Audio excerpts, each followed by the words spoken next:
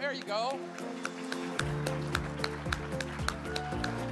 What's it feel like to be with like minded people, leaders? What does it feel like?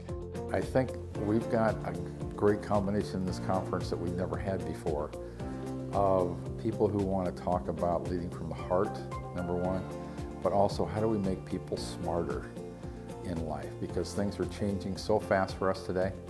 The technology that's in the workplace, the thought process that's in the workplace, it's changing so fast. And I'm excited this year because we're bringing things together that will help us deal in this workplace that's, that's changing so fast. Ask this question, how might I, with the best of intentions, be shutting down smart, capable people or suppressing great ideas and innovation? People will tell you. It's a safe question to ask. See, leadership is about relationships. It, uh, it is, yep. It's all about relationships, and you got your people got to think that you think that they're part of the team and they're an important part of the team, not something that can be discarded. Isn't it our responsibility to treat people with dignity and respect, regardless of who they are?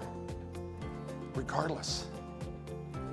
So, if you're going to be a servant leader, you've got to live your transformation with everyone that comes in contact with you. The best test is do those served grow as persons? Not do I grow as, per, as a person? Not am I better off as a person? Do those served grow as persons?